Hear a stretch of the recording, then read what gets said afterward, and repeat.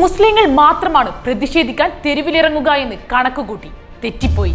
മുസ്ലിങ്ങൾ അള്ളാഹു അക്ബർ എന്ന് വിളിച്ച് തെരുവിൽ ഇറങ്ങുമെന്നും ആ വിളിയിൽ ചേരിതെരുവ് ഉണ്ടാക്കാമെന്നും കണക്കുകൂട്ടി.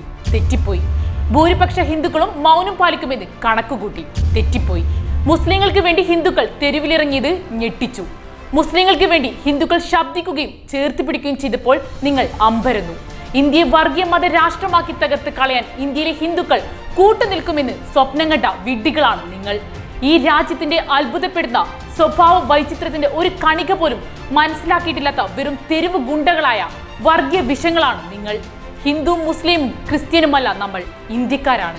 പൗരത്വം അടിമത്തമല്ല അവകാശമാണ്. അടിച്ചമർത്തുമ്പോഴും പ്രതിഷേധങ്ങൾ നടന്നുകൊണ്ടേയിരിക്കും. നമ്മുടെ പാരമ്പര്യം അഹിംസയുടെയും അക്രമരാഹിത്യത്തിന്റേതുമാണ് പേ പിടിച്ച വർഗീയ ജന്മങ്ങൾക്ക് തക്ക മറുപടി നൽകാൻ ഇപ്പോഴും പ്രാപ്തമാണ് ഇന്ത്യ മഹാരാജ്യം. രാജ്യം അപകടത്തിൽപ്പെടുമ്പോൾ അമ്പരിപ്പിക്കുന്ന ഒരു ഐക്യപ്പെടുത്തലുണ്ട് ഇന്ത്യയ്ക്ക്. പേടിക്കണം അതിനെ പേടിച്ചേ പറ്റൂ.